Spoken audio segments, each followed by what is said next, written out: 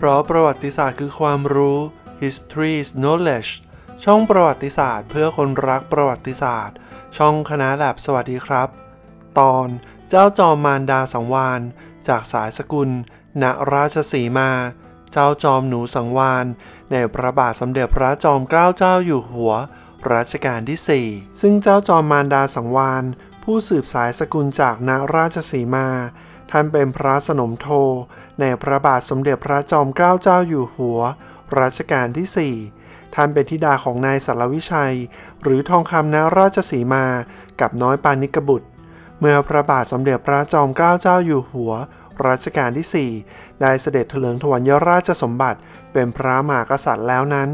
ท่านปาของท่านซึ่งก็คือธิดาของเจ้าพระยานครราชสีมา หรือทองอินณราชสีมา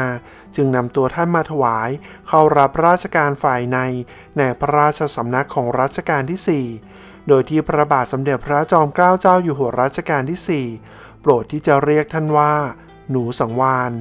ท่านมีพระราชโอรสและพระราชธิดา รวมทั้งสิ้นสี่พระองค์ คือ 1. พระเจ้าบรมวงศ์เธอ กรมหลวงประจักษ์ศิลปาคม 2. พระเจ้าบรมวงศ์เธอ กรมหลวงสัมพศาสตร์สุภกิจ 3. พระเจ้าบรมวงศ์เธอ พระองค์เจ้าเจริญรุ่งราศีและลำดับสุดท้าย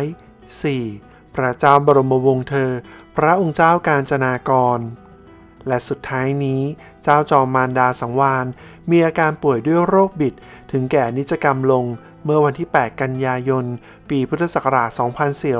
2456 ที่วังของพระเจ้าบรมวงศ์เธอ กรมหลวงสรรพศาสตร์สุภกิจเซเรียรวมอายุได้ 75 ปี และต่อมาในวันที่ 9 กันยายน ปีพุทธศักราช 2456 พระบาทสมเด็จพระมงกุฎเกล้าเจ้าอยู่หัว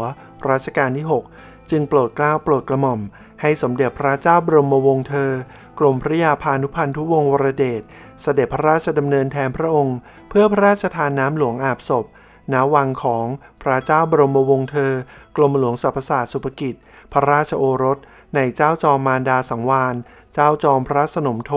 ในพระบาทสมเด็จพระจอมเกล้าเจ้าอยู่หัวรัชกาลที่ 4 นั่นเอง